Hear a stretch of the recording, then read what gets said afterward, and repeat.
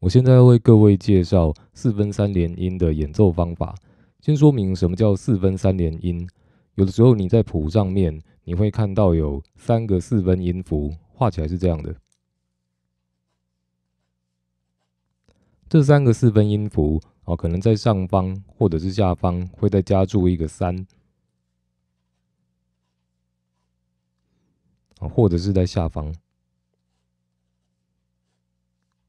这样子的音符就是四分三连音。那现在要来讲四分三连音要怎么演奏。首先，我用一条线来代表要演奏的一个小节。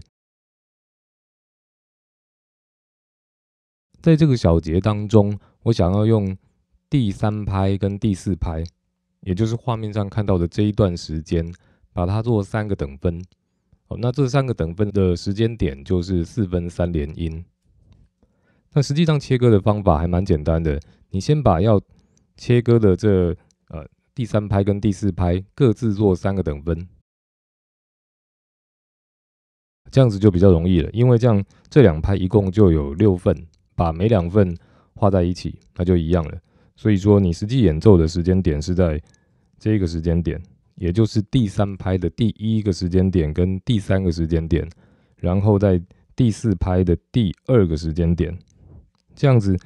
这个演奏啊，第一个箭头这个演奏，它的时间值就会到这边；第二个演奏的时间值会到这边；第三个演奏的时间值就到这个小节结束。所以就把这个第三拍跟第四拍平均的分成三个等份了。好，那现在这个纸上谈兵是比较简单的。那实际上练习的时候，我建议把前面两拍当做一个预备哦，你先。慢慢的习惯每拍三等分的感觉之后，再去做切换。所以我现在把前面的两拍也想成是三连音的感觉。好，那像我现在先简单的用念的来念一个拍子：one, two, three, four, one, two, three, four。在这个速度的基础之下，啊，想想看三连音的速度应该多快：one, two, tita, four ta one two tita, three tita, four ta one tita, two tita, three tita, four ta one tita, two tita, three tita, four ta three tita, four ta one tita, two tita, three tita, four ta OK，那现在试试看哦，跟着我念的这个速度，然后我在第三拍的第一点跟第三点。第四拍的第二点，我就要做一个拍手也好，或者是呃敲打你的鼓、打点板，或者是在你的吉他上面刷弦，或看你是操作什么乐器都可以。节拍器的速度设定在六十啊，那如果你觉得这个速度对你来讲有一点勉强，你可以再找一个更适合你的速度。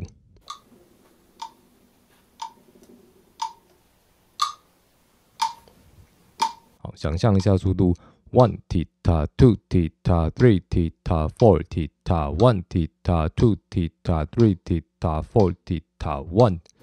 two, three tita, 4 tita. 1 tita, 2 tita, 3 tita, 4 tita. 1 tita, 2 tita, 3 tita, 4 tita. 1, 2, 1, 2, 1, 2, 哦，像是这样。一开始的话，我会建议把每个等分 three t t four t t 这里面的每个时间点都念出来。three t t four teta，啊，慢慢的练，因为这个重点不是在于你的手会动啊，或者是会弹。我想每个人都会动、会弹、会会敲，但是实际上你能不能够真正记住这个时间的感觉，是要慢慢累积的。好。所以，先慢慢的把每个时间点啊三等分的时间点都念出来，习惯了以后，试试看念在心里啊，甚至忽略不念，只念出 one two three four 啊，试试看哦，变成 one two three four one two three four，好，像这样子，那慢慢的练习到这个呃，已经只需要 one two three four。哦，不需要把三等分的时间点念出来，你都可以演奏的话，就基本上就没有太大的问题。好，这是第一个阶段。第二个阶段就是要呃有一个考验哦，就是你可能会把它演奏成别的拍子。很多的鼓手或者是吉他手比较擅长一些呃每拍四等分的音乐啊，十六分音符为基础的音乐的的吉他手，常常呃会弹出一个拍子哦，就是如果我把这个第三拍跟第四拍画成四个等分，好，那有可能会演奏成第三拍的第一个时间点跟第四个时间点。还有第四拍的第三个时间点，你会发现我这底下这三个箭头跟上面其实很像，尤其是时间在流动当中，我们很难察觉到这两个的差异，但事实上是不一样的。所以比较敏感一点的乐手会察觉到其实不一样。有的时候你演奏的是三连音，有的时候你演奏的可能是下面这个拍子。有时候我会说这个叫三三二哦，因为就。三个十六分音符，三个十六分音符，两个十六分音符，哦，三个一组，三个一组，两个一组，所以我称我称这个节奏是三三二。那呃，它在谱上面常见的写法是这样，哦，看起来是这样子的拍子，但是很容易混淆跟上面的这一个。我记得以前我在练团的时候，曾经被我的呃键盘手要求过，被他嫌弃过，因为我把上面的这个节奏。打成很像下面这一个，我现在来试试看哦，演奏一下下面这一个。那所以它的基础是每拍四等分，one E N R two E N R three E N R four E N R one two E N R three E N R four E N R one E N R two three one two One E N 啊，Two E N 啊，Three E N 啊，Four E N 啊，One，Two，回来上面这一个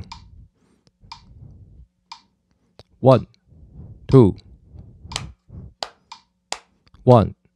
two，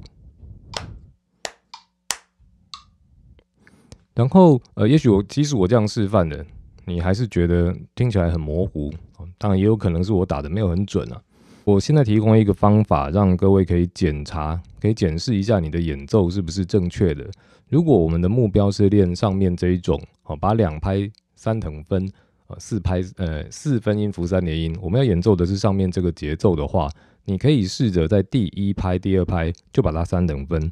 所以这样子会有整个小节被六等分的感觉啊。所以说这个声音连贯下来，他们听起来是速度均等的。但是如果你演奏的是下面这种感觉的话，当你的一二拍，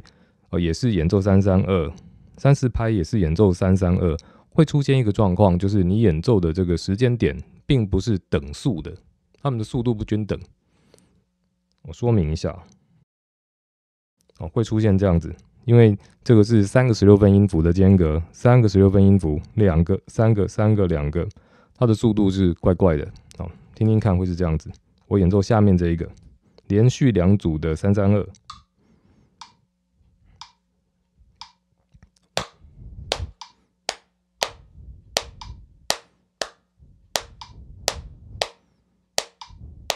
One E N R two E N R three E N R four E N R one E N R two E N R three E N R four E N R，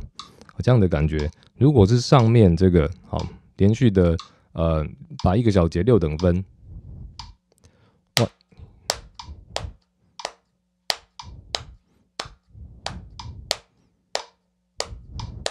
One T 塔，Two T 塔，Three T 塔，Four T 塔，One T 塔，Two T 塔，Three T 塔，Four T 塔。哦，感觉很不一样，对不对？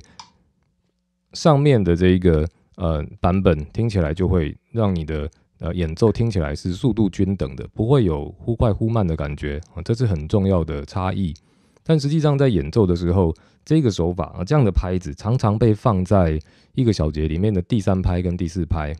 其实有时候是放在一二拍，少数情况下会出现在二三拍，嗯，大但是大部分情况下出现在三四拍的时候，加上这歌的速度如果不太慢，有一点速度的时候，其实这两者是非常接近的啦。那常常被演奏成这样，其实大家也不会有太大的问题。如果速度够快的话，啊。但是如果说是速度比较慢，又或者是要连续的出现这样子的音符，那你这个两拍被三等分的感觉，必须要练得再精确一点啊，会比较好。